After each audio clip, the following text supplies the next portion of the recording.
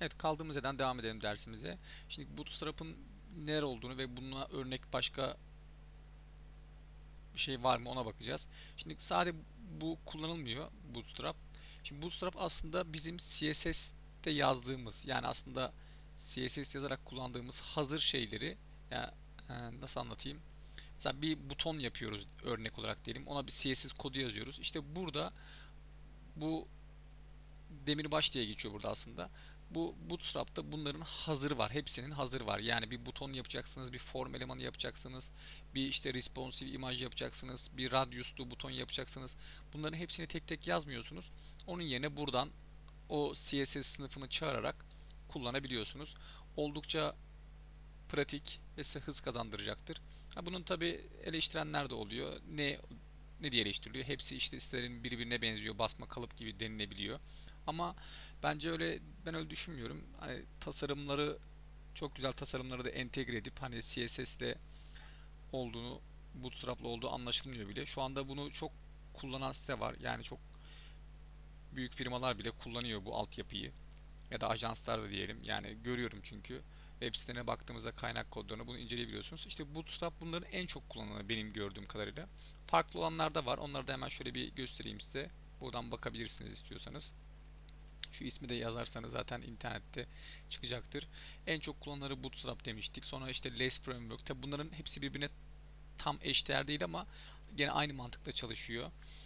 Burada şu site Bootstrap'a benziyor. Dediğim gibi en çok kullanılan Bootstrap ve en fazla size özelliği sunan da bence o. Ve Bootstrap'ın bir avantajı da şu.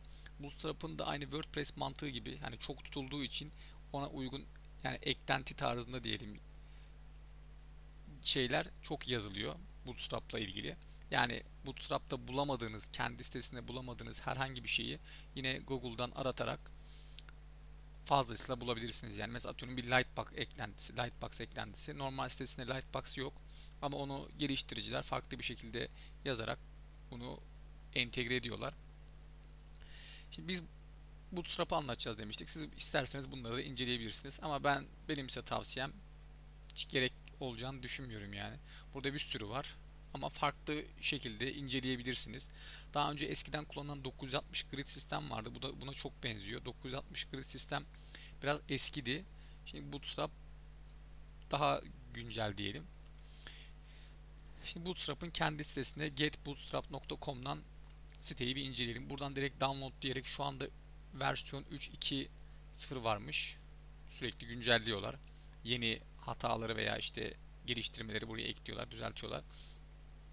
Burada işte SAS ve LESS CSS framework'lerini kullanabiliyorsunuz. Tabi siz bunları kodluyorsanız biz normal CSS'te yapacağız. Bunları kullanmayacağız.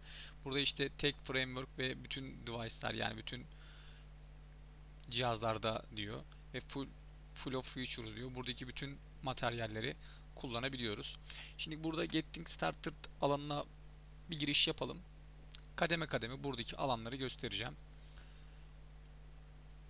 Evet. Şimdi ilk başta şöyle yapacağım. Ben aslında açtım burada sayfaları. Bu da gözüküyor zaten. Şimdi burada şunu çevirmesin. Evet. Şimdi nasıl example'lara bakalım ilk başta. Bakın burada example'lar var kendi kullandığı. Ben şimdi bunları size açmıştım hazır. Onları göstereceğim neler olduğunu. Bu arada Bootstrap'la yapılmış kendi en aşağısında örnek siteler vardı. Bu da onlardan bir tanesi. Bootstrap'la yapılmış. Ve şu diğeri şurada kullandığımız Buna bakalım. Evet bakın şuna da bir girelim. Şu ikisine bir bakalım. Göz atalım bunlara bir nasıl yapmışlar. Ha, çok kullanılıyor yani güzel bir plugin ya da framework artık ismi neyse yani çok fazla isimlere takılmıyorum öyle şeylere. Önemli olan bunu anlayıp kavrayıp yapabilmek. Bakın burada menüsünü mesela farklı yapmışlar gördüğünüz üzere. Normalde bu kendi menüsünün içinde böyle bir şey yok. Ama bulup siz kendiniz işte CSS bilgilerinizde biraz JavaScript bilgilerinizde onları oraya entegre edebiliyorsunuz. Yani illa oradaki şeylere bağımlı kalmak zorunda değilsiniz. Bir küçültelim sayfayı bakalım. Bakın küçültüyorum. Küçültüyorum. Bakın burası değişti. Tık diyorum. Bakın burada açıldı. Şurada bence ufak bir hata olmuş zannedersem. Aslında istenmeyen bir durum bence o. Alt tarafa bakın yan yanaydı. Alt alta dizildi. Şimdi tekrar ekranı büyüttüğümde bakın orası yan yana diziliyor. Burası bakın yan yanaydı. Normalde alt alta geçti. Bu bu şekilde. Hepsini tek tek böyle evet burası daha kapsamlı bir siteymiş. Bir de buna bakalım. Küçültüyorum. Bakın. Bu biraz daha kapsamlı. Hiç Bootstrap'la yapıldığı neredeyse anlaşılmıyor gibi. Tabii gerçekten Bootstrap mı? Bir daha tekrar bakalım. Newspeak diye bakalım. Evet bir Bootstrap kısmını görebiliyor muyuz? Bakalım altta neler varmış. Şöyle bir kontrol Evet Bootstrap CSS diyerek burada geçiyor. Başka var mı? Bootstrap CSS Evet Bootstrap en altta JavaScript'i var mı bakalım. Bakıyoruz. Şöyle devam edelim.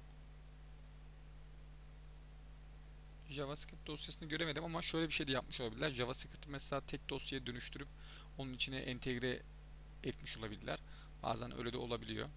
Kaynak kodlarını birleştirerek tek seferde.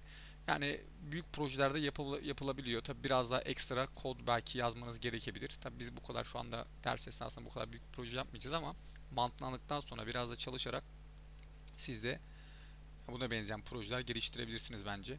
Bootstrap bunu sağlıyor. Şimdi bir sonraki derste artık yavaş yavaş buradaki örnekleri incelemeye başlayacağız.